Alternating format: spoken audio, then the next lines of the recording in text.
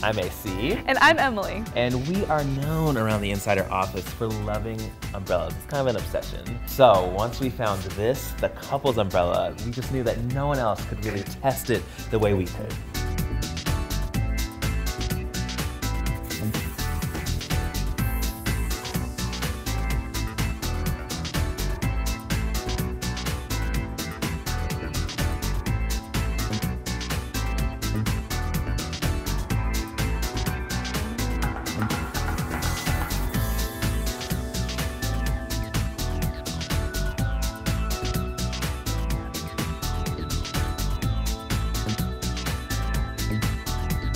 So what do we think about the couple's umbrella?